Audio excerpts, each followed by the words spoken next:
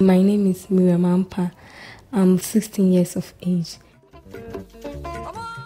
I want to be a lawyer in future because I like it and it inspires me seeing lawyers in courts and defending the needy ones.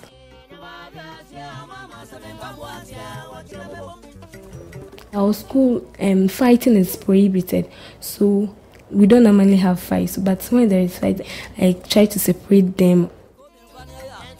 Once we were in the class, there was no teacher there. There was a girl. She wanted to um, read a book, so the book was mine.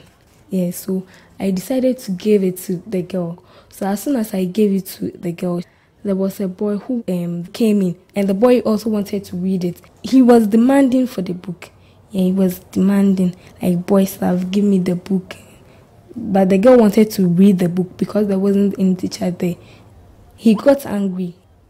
He was trying to collect it by force, yes. But she was the one who said it first, so I just got up and defended that girl. I said no. I told the boy that after after she reading it, I'll collect it and give it to him personally. When I see people like um, cheating some, I just defend those who are being cheated. I learned that when some people are needy, in need, you just have to stand up no matter what to help those ones who are in need.